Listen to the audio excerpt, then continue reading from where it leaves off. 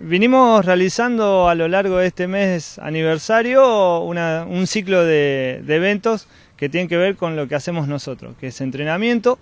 Y bueno, para conmemorar este quinto aniversario hemos hecho en el mes de julio eh, lo que refiere a un campamento de entrenamiento en la ciudad de Victoria, eh, la fiesta de aniversario.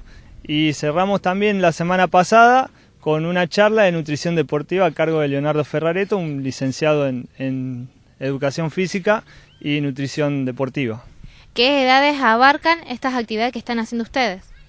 Tenemos eh, dos grupos. Tenemos un grupo de menores y, de niños y un grupo de mayores que eh, está conformado por varios niveles también. De ahora en adelante, ¿qué proyectos tienen? Hola, ¿qué tal? Eh, de ahora en adelante tenemos los Aquathlon, que eso van a ser en el verano por el tema del tiempo, que se realizan tanto en pileta como puede ser en río. La disciplina consta en nadar, correr y volver a nadar. Y también lo que vamos a estar haciendo dentro de poco, que todavía no tenemos fechas muy estimativas, va a ser una posta nocturna, que va a ser acá en San Lorenzo. Sería todo pedetrismo haciendo posta. Aquellos que se quieren estar sumando a esta gran actividad que están haciendo, eh, ¿a dónde se tienen que acercar? ¿Qué días y horarios?